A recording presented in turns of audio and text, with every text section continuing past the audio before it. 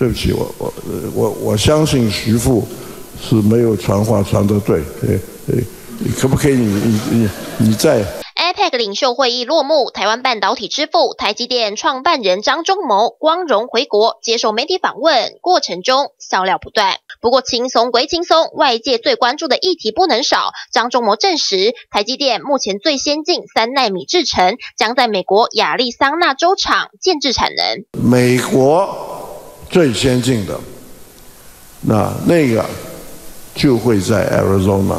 确认三纳米厂是亚利桑那州第二阶段，还未传国内南科三纳米厂制程可能缩减，把两万片月产能移往美国。对此，台积电没有回应。很多人好像最近才忽然悟过来，悟过来，嗯，所以嫉妒的人很多，好几个国家对我表示，能不能够？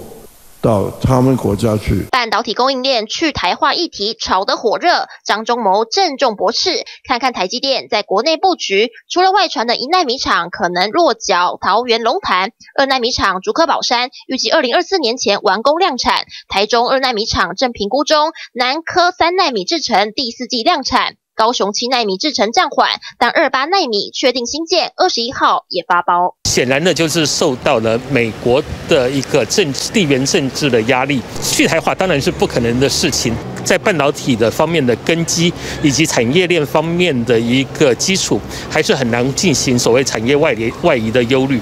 尽管国外设厂持续前进，但专家强调，无论怎么外移，台积电真正具有生产效率基地还是台湾，绝对。难以撼动。